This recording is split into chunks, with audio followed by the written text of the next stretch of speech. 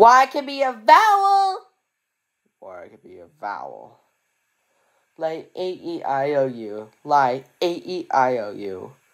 Because one can say, one can say. Long I or E, long I or E. Wow, Y is a vowel! Y is a vowel. It was like my, I didn't try. My, I didn't try. And then hazy and lazy, hazy and lazy. Now